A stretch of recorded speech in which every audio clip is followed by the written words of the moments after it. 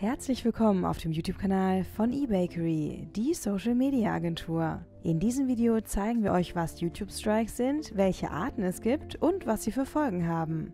Wenn euch dieses Video gefällt, dann gebt uns einen Daumen nach oben und abonniert den Kanal. Strikes sind Verwarnungen, die man auf YouTube bekommen kann. Es gibt zwei Arten von Strikes, die man unterscheiden muss. Einmal Strikes wegen Urheberrechtsverletzungen und Strikes wegen Community-Rechtsverletzungen.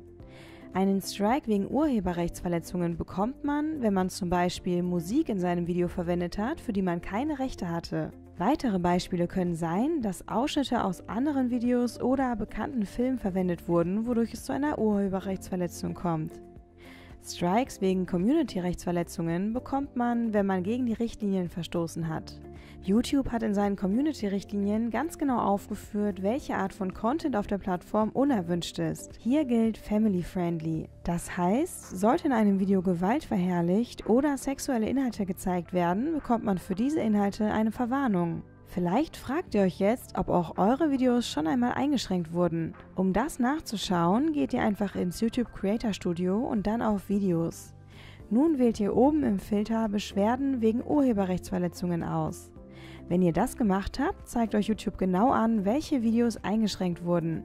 Eine Einschränkung kann verschiedenes bedeuten. Bei Community Strikes zum Beispiel wird bei manchen Videos zuerst die Monetarisierung eingestellt.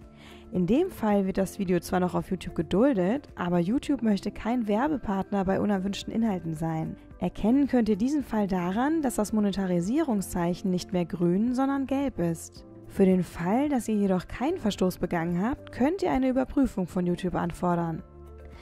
Bei den Community Strikes gibt es zusätzlich noch eine Besonderheit. YouTube spricht hierbei erstmal eine Verwarnung, die noch keine Folgen hat, aus. Solltet ihr den Verstoß aber wiederholen, bekommt ihr den tatsächlichen Strike und die ersten Konsequenzen. Diese sehen so aus.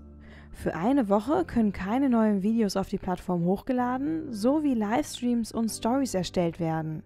Außerdem können keine Community-Posts mehr geteilt und keine Playlists mehr erstellt oder bearbeitet werden. Der Strike bleibt für 90 Tage bestehen, auch wenn die Konsequenzen nur für eine Woche gelten. Wenn ihr in diesen 90 Tagen keine weiteren Verstöße begeht, dann verfällt der Strike. Begeht ihr jedoch erneut einen Verstoß, bekommt ihr einen zweiten Strike. Alle Folgen des ersten Strikes gelten dann für die doppelte Zeit, also für zwei Wochen. Der zweite Strike bleibt wieder für 90 Tage aktiv. Wenn ihr innerhalb dieser 90 Tage erneut einen Verstoß begeht, dann bekommt ihr den letzten und somit dritten Strike, wodurch der Kanal gelöscht wird. Bei Urheberrechtsverletzungen läuft das Ganze ähnlich ab, nur bekommt ihr hier beim ersten Mal direkt einen Strike und keine Verwarnung. Auch hier führen drei Strikes dazu, dass der Account gelöscht wird. Wir hoffen, wir konnten euch mit diesem Video weiterhelfen. Wenn ihr noch Fragen zu dem Thema habt, schreibt sie gerne in die Kommentare oder wendet euch an die Experten von eBakery. Wenn euch das Video gefallen hat, dann gebt uns einen Daumen nach oben und vergesst nicht den Kanal zu abonnieren. Viel Erfolg wünscht euch euer eBakery Team.